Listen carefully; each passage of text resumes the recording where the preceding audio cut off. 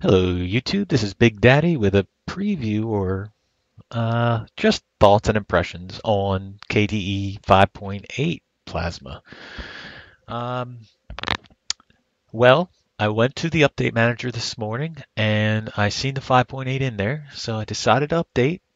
I run KDE Neon, so it just pops in there, and I updated. And long story short, I received my first error on the system. So this was the error that I received when I tried to do it through the update manager.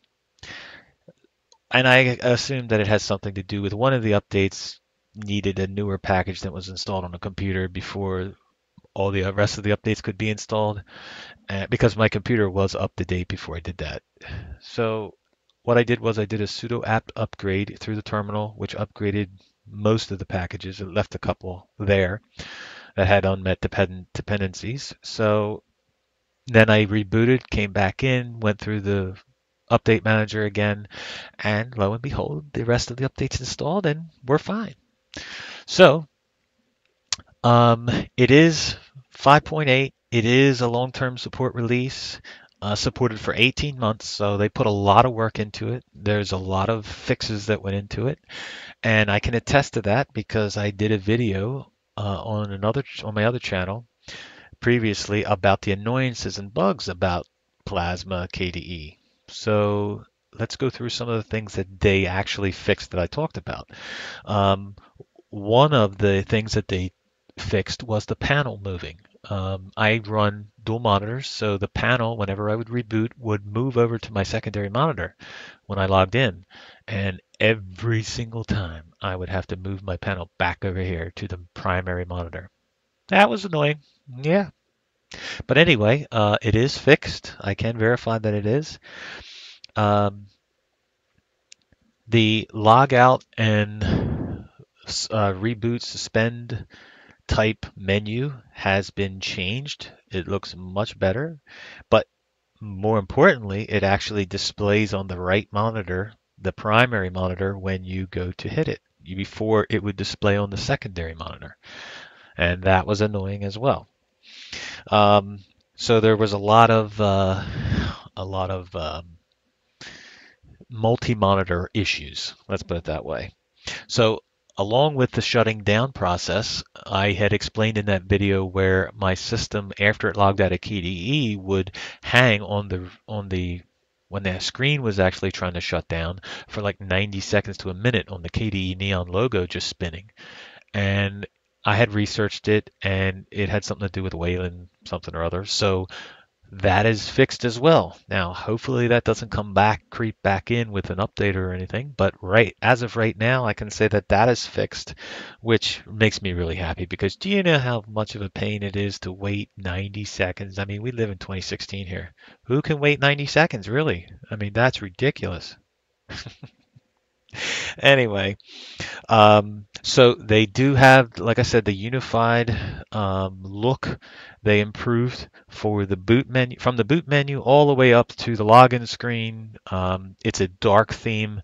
It's no longer the different colors and whatnot, and it does look really good. So that's one thing that they fixed. Um, they did add uh, support for the modifier keys to be used for like shortcuts. So just the modifier key. So like now I have my mouse over here and I can actually hit the Windows key or the meta key in Linux terms. Um, and it'll open the menu, which is awesome. It should have been that way from the beginning, but it wasn't, but it is awesome now. Now, I will say it would be nice if you could actually hit that again to close it if you didn't want it open. Like if you hit it, it, it, doesn't. If you hit it again, it doesn't close it. But that's not too big of a deal because one, the whole purpose of using that kind of key is so that you can hit it and start typing right away. So then you start typing Firefox and you open it and the menu closes anyway. So that's not a huge deal. That would just be a perk. But to be able to use the meta keys is pretty much awesome. Um, now, the other thing that they did was they updated Discover. So uh, I had mentioned that Discover wasn't the answer for the update manager software installer because of the certain bugs in it hanging.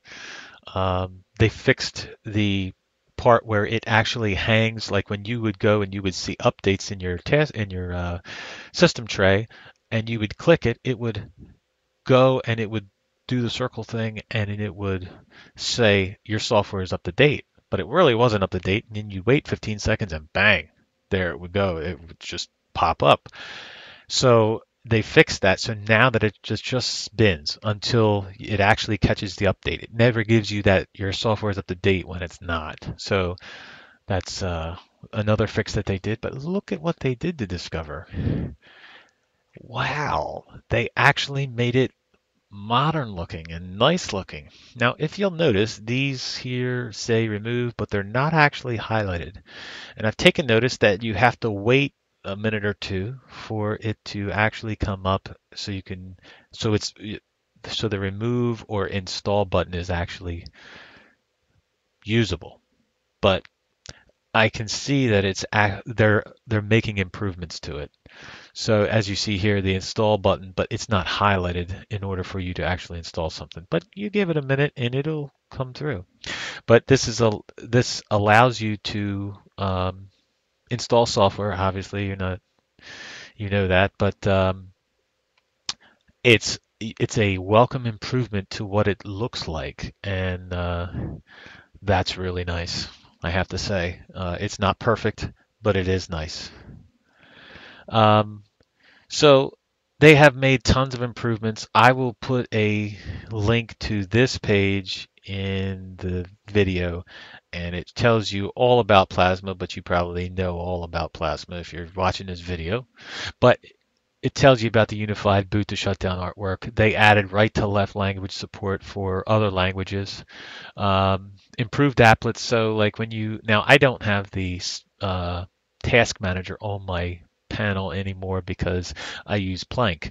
But for those of you who do use the uh, task manager, when you right click on an item, it'll actually give you more options. Like if you're using a music player, it'll let you switch to track and whatnot. Um, yeah, so there's been a lot of improvements made. So I appreciate all of them because, man, some of them are really, really, really annoying. But um, hats off to the KDE guys. And you know what? Until next time, Big Daddy out.